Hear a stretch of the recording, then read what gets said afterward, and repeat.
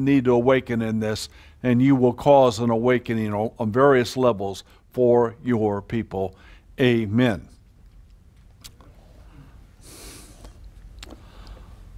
The title of this message today is Train Up Your Child. Most of you gathered here today are, shall I say, older folks and perhaps you already have uh, raised uh, children. Uh, Martha and I have, but you know we're still we're grandparents, and the job continues. Amen. Uh, ben and Melinda, you know what I'm talking about as well. We should all be vitally interested in not only about the past, but also in the future, especially the future, I would say, of our Adamic kindred. In all of my years, I have never met or heard of a parent who has been able to raise up a corrupt free child. Have you? Any of you? All children have problems, doubts, questions, and to be more blunt again, they do have and carry with them sin in their life. So there's this corruptness, there's this sin that folks, parents, all of us need to understand it starts out really right there in the cradle. That we have to be concerned, may I say, for their soul. We love them. We want the best for them, do we not? And so, how are parents to be good parents? Well, in part, we're going to deal with that question in this message. And of course, it is somewhat depressing to think about the fact that God created us and we come into this world and we have a sin nature. Right? It, it, um, it, it does something in a sense to our faith. But that's why we have to have the right faith, or we will not be able to properly deal with the problem and the issues that, of course, parents are going to go through. I don't know about any of you watching on DVD right now or CD how that you are uh, parents, grandparents, I don't know if you feel very successful at it. Right? How many of you, I don't need a show of hands, but would raise your hand and say, Pastor, that's me. I feel like I failed in this area and I failed in that area. And I, I, I just, I don't know if I was able to produce and, and do the right things that I'm, I'm called to do from God's Word.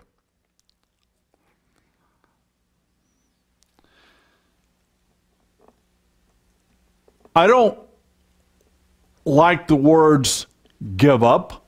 Do any of you? None of us are quitters. And yet I've heard, sadly, from a number of parents over the years that they've thrown, thrown up their hands, they've given up. Well, that's not biblical. Are we to give up because we are sinners? We have sinned. We have fallen short of the glory of God. Let's just give up on ourselves. Well, the Word of God, if we'll read it and we'll understand it, should understand that there is great hope for us, even though we, we have sinned and fallen short of the glory of God. There's hope. Parents, there's hope. So I would say no not for one moment would we dare entertain such a thought that we're, we're supposed to, let's say, give up, throw in the towel, as in a sense some parents have done. And they're just kind of letting their children float along in the world here, do what they want to do. And parents just concern themselves with work. They concern themselves with um, the cares of this world and pretty much are ignoring their children. But no, that's not what God has called us to do at all. We are here to be, I'll use, I'll use the biblical term, overcomers. We're supposed to be overcomers. And we're supposed to help our children overcome their problems and their difficulties. And that means to press forward, press forward in the faith, and make full proof of the things that God has called us to do. I can't think of a probably I can't think of a more important role than being a parent, a godly parent. Can you? It's vitally important that we strive to be godly parents. It's an office. People talk about uh, a, a position in government and uh, a, a position that a person may have on a job or wherever out there. Well, as far as I'm concerned, the highest calling is to be a parent, a godly parent. And that means that you're going to have to be a judge.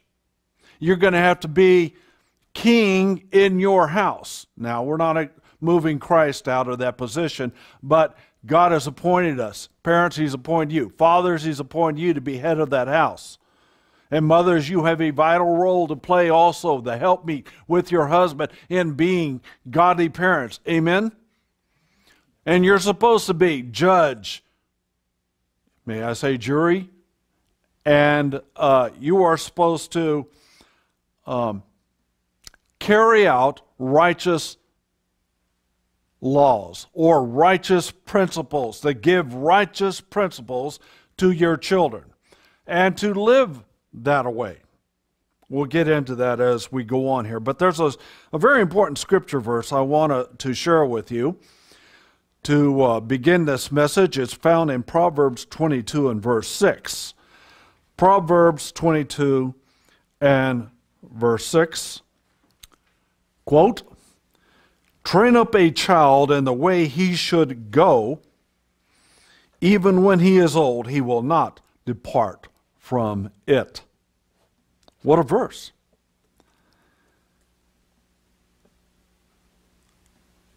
This is deep spiritual meat, actually, in what we're reading here from God's Word about train up your child. And it is true, however, this, this term, train up a child, uh, needs deeper explanation for all of us to understand. And I'm not so, so sure we're going to even do it justice per se, but we're going to give a stab at it this morning or a, uh, put our right foot forward on it to help us gain, especially you parents, to gain understanding in what this verse really means. You see, to train up is more than telling them or reading to your children or even sheltering them from this world. Those are important things. I mean, we do have to uh, teach them. We do have to, and that involves reading to them, and we do have to shelter them. But let's try to gain, again, a deeper understanding of what that means.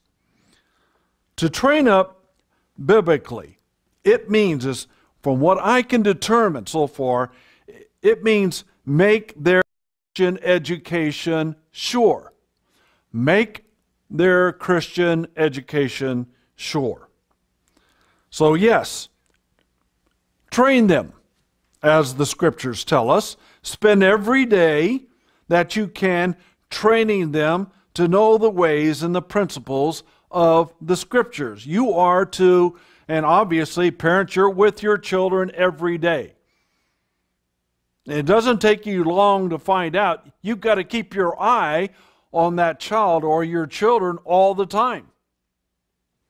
I remember years ago when uh, things got quiet in the house, and all of a sudden I felt like the Spirit's telling me, Dave, get up and check on your children. And I came downstairs and I found my son Patrick with scissors in his hand, and there's electric wire plugged into the wall there. He's getting ready to cut that. now, there is no doubt in my mind that the Holy Spirit was there to help me and to let me know. You'd be surprised how many times, as a parent and mom too, you can, you can uh, testify the fact that when you don't hear something, that's the time that there's probably something not good going on in the house.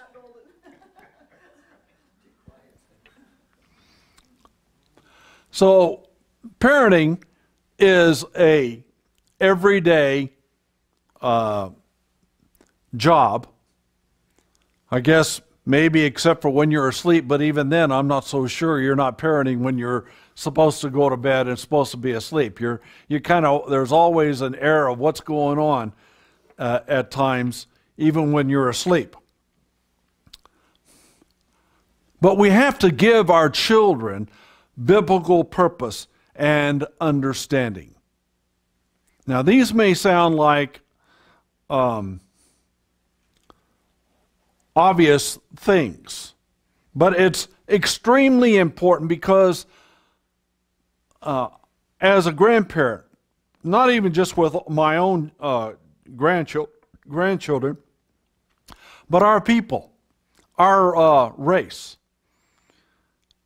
And uh, we, there's a number of families out there that you do have children, and you're going through those struggles of raising your children, how to be godly parents, how to make the right decision, etc., etc. But I look out there in the world and I see how a number of these children and young people are acting and behaving, and I'm worried. I'm worried about the influence, very the worldly influence that is upon them. Now, things haven't changed much. When you were young, don't you know that your parents were concerned about you, and they were concerned about worldly influence. Now, we could say, yes, but it's gotten worse. And I would say, I'm, I'm in agreement with that. I think things have gotten worse. But there's this basic sin nature still. Didn't you have it? Nobody wants to talk about that. Didn't you do things you shouldn't have done? Weren't you involved in things uh, at school and with your friends after school that you shouldn't have been involved in? Perhaps some of you would say, "No, I, I went to school, I came home, and everything was fine," you know, and and uh, and my parents and I got along great. We didn't have any arguments. We saw eye to eye. I didn't have to deceive my parents about anything. Anytime I wanted to go somewhere, I told them. Anytime my friends came around, you know, they were good friends, they were godly friends. Well, I, I'm, I'm happy for you. But uh, when I look back on my childhood and I look back on the things that I did, you know, as shocking as this may be, you know, you, it's going to be hard for you to believe this about Pastor Barley, but I lied to my parents on a number of cases. I wanted to go be with my friends, especially when there was a young person and they wanted to go to a party. I wanted to go with them. I wanted to be at that party. I had no idea what I was getting involved in. I, I didn't really know what kind of people were going to be at that party, what influences were going to be there, but I wanted to be there. And a lot of times when the bad guys, my bad people, bad friends, we could say, uh, at, at school were doing things, well, it didn't take a whole lot to, to uh, convince Dave here that, hey, you should be involved in those things too. Sounds like fun. Uh, again, if that doesn't apply to you, well, I'm happy. And you're, and you're blessed for that. But I have found uh, that um, uh, oftentimes when my parents, I'm reflecting back, when my parents would say, "Don't do certain things, don't go certain things," and when I and, and when I leave, like uh, that, my parents leave in the car and they go for an hour. Don't you go out of the house. Don't you go anywhere. You know, you stay right here in this house while while we're gone. Well, it didn't. If a friend would come by or something like that, want me to come out, guess where I would go? I would go out outside and do certain things. I'll never forget one day, and I probably told you all this before, but I'll say it again. Well, I was um, uh, my, my um, parents were gone, but my dad's car was in the garage. And a friend, of, a couple of friends of mine came over and we were messing around, and we were only about 12 years old. We came up with a brilliant idea that wouldn't it be neat if we could move my car, my dad's car, out of the driveway, and we could uh, show how tough we were, and uh, and uh, we just were enthralled with that idea of being able to move my dad's car out of the driveway. So we figured, okay, let's put turn the key on, and and uh, let's uh, uh, grab it, and we'll all get behind the hood of the car, the front part, and we'll just start pushing with all of our might. And doggone it, the car started moving. And next thing you know, lo and behold, that car is going down, uh, down into the street, and and we couldn't stop it. And bang, it hits the curb and bounces forward. And my dad's car is there, blocking the whole road. So, do you think the the fear? We'll even say of God, but I tell you right now, it was fear of my dad. What is going to happen to me when my dad comes home soon and sees that car blocking the way and all the commotion that's going on there? But that's just a little example, isn't it? Do, do, I'm sure you all have your examples back when you were young of things that you did and uh, that you're not too proud of. And there are more things that I'm not proud of that I'm not, I'm not mentioning, by the way. But uh, again, we all have our stories. But let's not dwell on that. Let's dwell on the solution. Is there a biblical solution? For instance, this verse that we read here in Proverbs 22, verse 6 train up a child in the way he should go, and even when he is old, he will not depart from it. Does anyone here think that you can just train up a child and there will not be any problems? That uh, he'll stay, you'll you'll correct him, you'll give him godly advice, you'll you'll do the godly thing, and he'll stay or she'll stay a godly child until they're old and die and pass on. Does anybody really think that or believe that? Well, I don't believe that's what this verse is telling us. Now, we could read that into it, but I, I think this verse is telling us that there needs to be good training or even serious training that we use to raise our children. But how do we get that? How do we know what that is?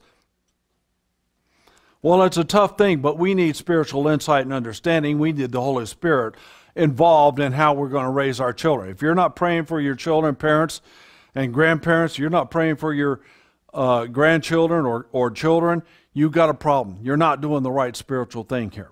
So, training also involves praying, does it not? Yes, it does. But we have to explain to them our children, parents, I'm talking to you, what their biblical duties are. But we also have to explain to them, and this is where a lot of parents, I think, miss the boat in some cases, their biblical identity. Yes, they have a biblical identity. What does that biblical identity mean? What should it mean to our children? And they, so they need to understand what their covenant identity is and purpose. Do you think that would make a serious dent into their biblical understanding? I do. And I think a lot of parents are failing in that area to let them know you are of the seed of Abraham, Isaac, and Jacob. And here's what, in a sense, what we could say here's what God did with Abraham, Isaac, and Jacob, and here's what God can do with you. Here are his, and just read to them the stories of Joseph, how God delivered Joseph from that pit, right? And God performed miracles in his life. What God did for Abraham, what God did for Isaac and Jacob, and those stories. What, how God spoke to Samuel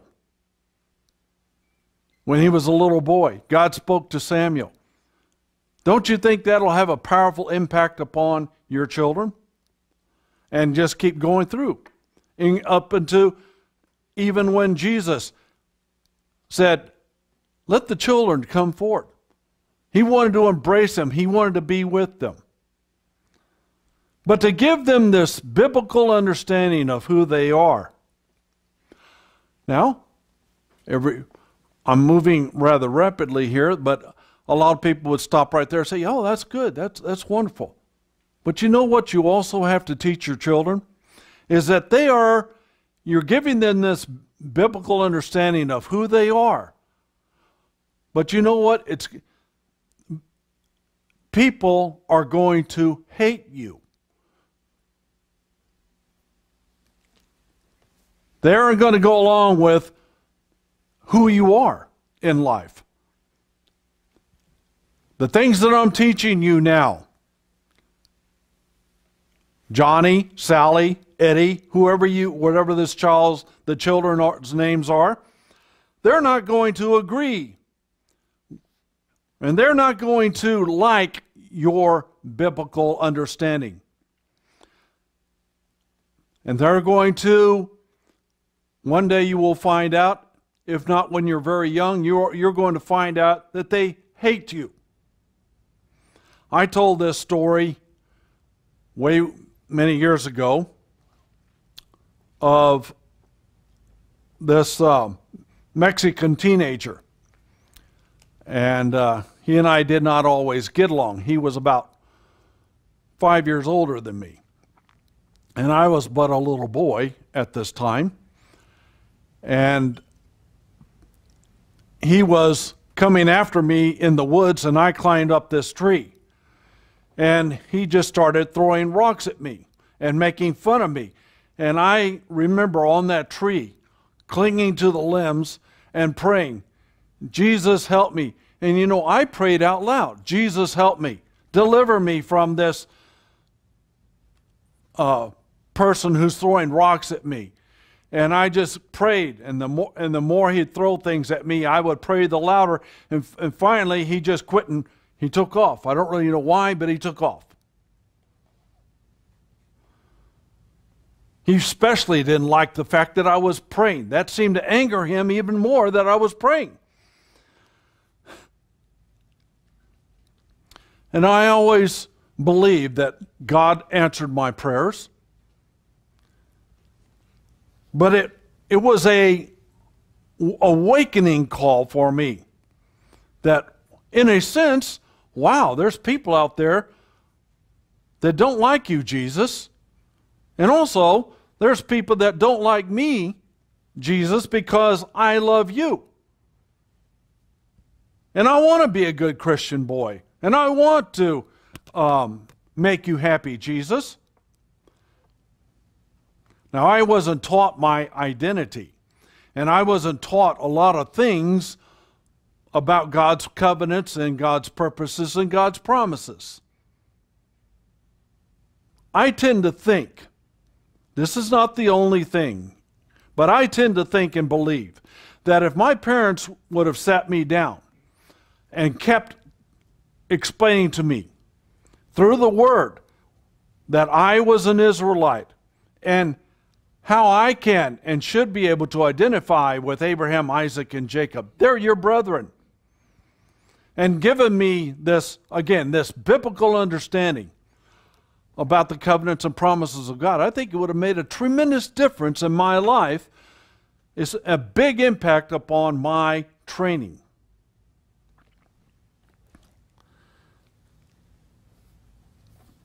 And why we need to have also the right biblical foundation and how to rightly use and apply the things of God. They're all connected, interconnected, the things that I've been sharing with you so far. And that no one will ever be able to love you. Children, no one's going to love you more. Young people, no one's going to love you more than your parents. And that needs to be also taught from a very young age. And of course, parents, when they have babies, they love their babies. They're kissing them all the time. Grandparents are over there kissing them all the time. I know because I can't wait for the service to end. So I was invited over to Patrick and Amanda's house, my son's house, and they have two little babies. I can't wait to go over there and hug them and kiss them. But it's important that we tell them and we let them know that we love them. We are vitally interested in them. We're vitally interested in their future. And the things that we do, if we're doing the right things biblically, will demonstrate that to them in a very and uh, message. It'll build love in them for you, a greater love, a greater understanding.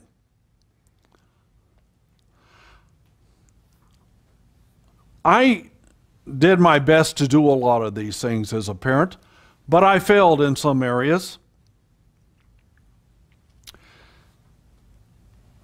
One thing I had to learn the hard way, and I'm going to tell you, and I'm sure most of you already know that, is do not let your failures dictate to you that you are just a failure and there's nothing you can do.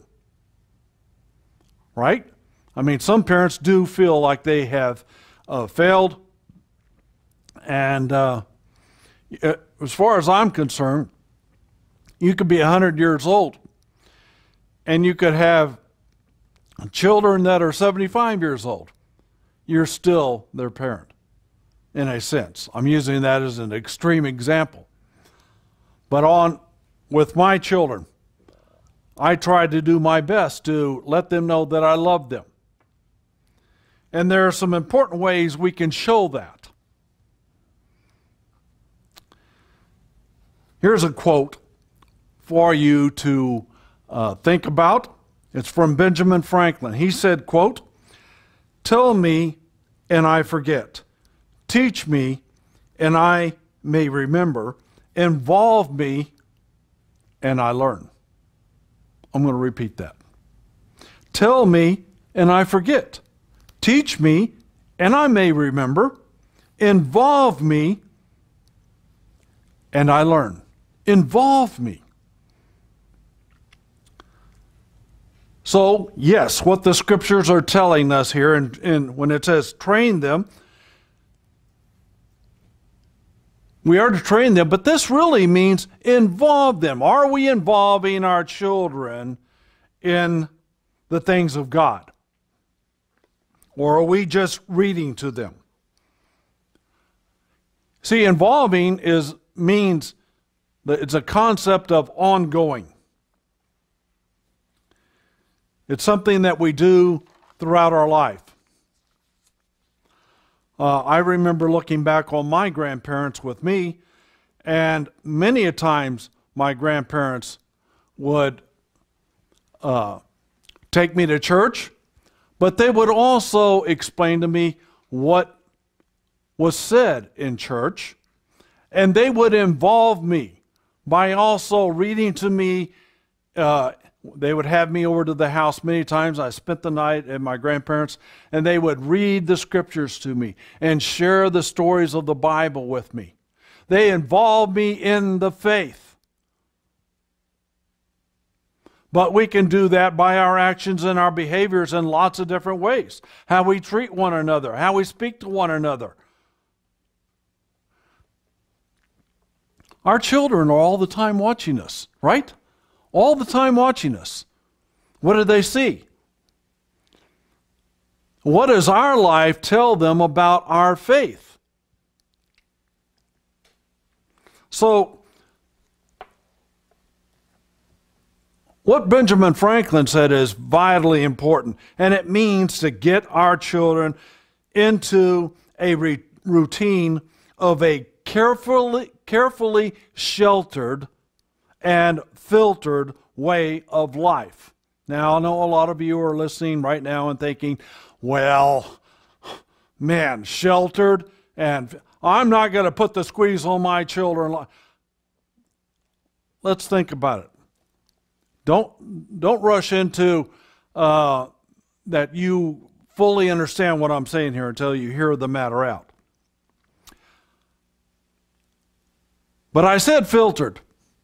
And I think that's what we do need to do. Parents, we need to filter out the things that our children see, what they hear, and what they experience, especially when they are young. When they are young, they are mostly free of worldliness and corruption, are they not? Pretty much. They stay at home with you, and all pretty much what they see are, is mom and dad and family. And once in a while, you know, they can remember getting in their, uh, maybe getting in the car seat or sitting in the back or sitting in the car, going to the store with mom and dad, things like that. Parents, you only, though, have a short opportunity to do this, to shelter your children or to filter a lot of things that they're going to hear and see and experience. And yes, let's be realistic. They will hear things as they're growing up, and they will see things that they you wouldn't like for them to hear or see. That's just a reality. This is why every day with your children is to be a training day. I'm, I'm, I'm repeating this over and over because I do want us to think in a deeper way about what this means. Do the best you can every day, then, to explain to them why certain things are wrong and bad, not, not only for them, but also show them how these things are detrimental to society.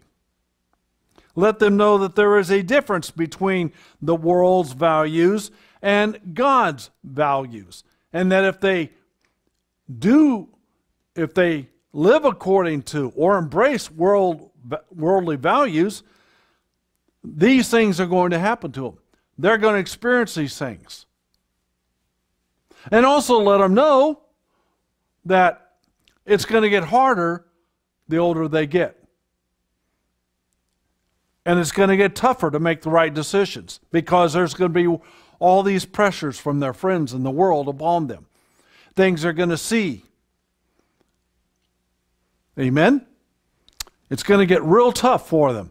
And so they need to have the right stuff. And that means the right spiritual stuff. They need to learn how to pray. So you need to work with your children and teaching them at a young age how to pray. They need to see you praying.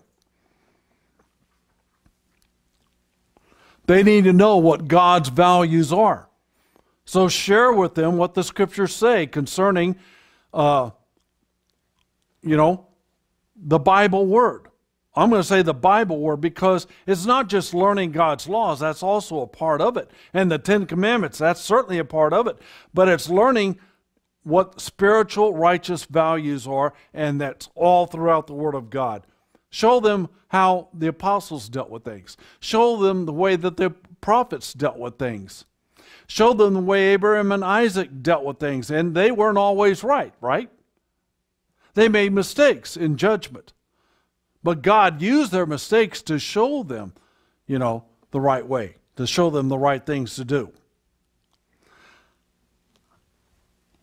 Now, this subject matter, again, is a tough one because, well, people don't want to do it. And I, I've, I'm saying this from experience, talking with um, a number of young people. And the reason I'm saying that is because they will hear this type of a message. They will have an understanding, or think they do, of these things, and yet they don't live it in their home. And they wonder when the children grow up why there are all these problems. Your children will not grow up perfectly just because, oh, let's say you spend um, one day a week sharing with them the scriptures, or one day, one day a week taking them to church. I know of a lot of parents in the past that that was their idea of Christianity was to take their children to church and drop them off and pick them up later. What kind of a message is that showing your children, first of all? Amen? What kind of a message is that showing your children? They watch you. They learn from that. And what message are you sending them? You're saying, well, must be that's the way it is. That's the way my parents live. They don't care about coming to church. They don't ever read the scriptures to me. They don't pray, pray with me ever. It's always going from one world event to another world event to another world event and sending them to the public school system and turning them over to public school system, things like that. Here is a very, also, a very vital principle that children need to learn. And all we can do is have, we have so much time in this message to preach these things and share these things. But it's the principle of separation. That separation is not bad. How do you think most children, or what, in what way are they taught about this, maybe the principle of separation? You see, we need to let our children know that there is a difference between, again, the world's values and God's values. And that they do need to, in one way that they can deal with the world problems that they're going to encounter, is to separate, come out from those things. To separate oneself is a vital way of protecting oneself. To separate. Parents quote to their children the scriptures on separation. And why do you do that? So they will know what the Word of God says, that the Word of God backs that up. It's not just a thought that's coming from you. As an example, I'd have you turn to 2 Corinthians 6 and verse 16. So they need to know why this is such a vital, vitally important principle. They need to know that everyone, the people that they meet out there, oftentimes they're not going to be what they what people call brothers and sisters to them. They're not going to be real friends. Verse 16. And what agreement hath the temple of God with idols? For ye are the temple of the living God. As God hath said, I will dwell in them and walk in them, and I will be their God, and they shall be my people. Wherefore come out from among them, and be ye separate, saith the Lord. God's saying this. Let your children know that. Touch not the unclean thing, and I will receive you, and will be a father unto you, and ye shall be my sons and daughters, saith the Lord Almighty. First of all, I like this last verse, don't you? It says, if ye do these things, if ye separate and touch not the unclean thing, I will receive you. Parents, use these verses to share with your children why they need to stay away from unclean things. And that mommy and daddy, we also, children, have to do this in our life. And here are some of the bad things that can happen and will happen to us if we don't do this, children and young people. They have to separate from the unclean things of this world. And the word says, again, and I will receive you.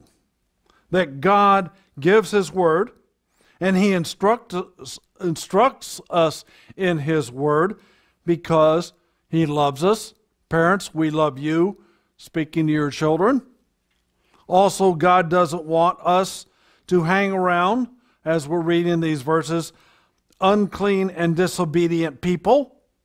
The covenants and the promises of God are meant to bring His people, and you are a child of God. Bring His people back into Him that we might have true unity and harmony with God to be one with His purposes.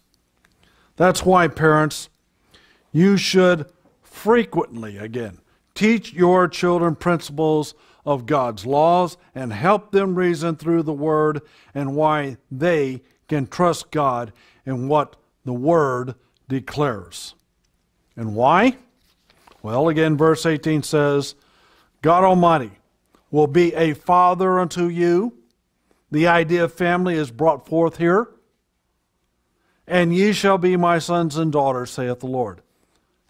God, through His Word, keeps His family, His Adamic Israel covenant family together. Parents, I think you can gather from what we just read here that God leads by example, and you are also to do the same. Now, we're just given some basic concepts, reality, on how to be good parents and what God requires of us, how to train up your children. There's so much that when you go through the Bible, God's Word unfolds for us. And there are things, there are a lot of things we can do if we will apply God's Word. And we, meaning parents, pray for yourselves. I've left out a lot in this message, but one thing I can guarantee you is where Pastor Barley has been inadequate in explaining some of these principles to you, the Holy Spirit will not. If you'll pray to Him, if you'll lean not to your own understanding, you'll follow the Scriptures, God will bless you with amazing truth and insight and understanding. And your children will grow up to be godly parents someday. Yes, they'll have their struggles. You know that. We all know that. But God, we need to teach them the Holy Spirit, the Lord Jesus Christ will be there with them. Give them that understanding. Now, if they're not reading His Word, if they're not applying His Word, they're not going to feel His presence. We want children we want you to feel the presence of the Lord. And this is why we, children, your parents, believe like we do. We go to church. This is why we read the Word of God. This is why we pray. This is why we uh, believe in the church to edify one another. And we come to church to get this, um, these things of God that are promised to us in His Word if we will abide in His Word and in His promises. Amen. Lord Jesus, we pray right now for this Word. We pray for our children. We pray that your Holy Spirit will help our people. Give them understanding. Give them spiritual strength. Give them biblical know how on how to be godly parents, and that they can reach out in a spiritual way. And that we, all of us, the body of Christ, need to pray for our people. We need to pray for our children. And we need to be there as examples also to encourage them and help them in growing steadfast in the things of God. Amen.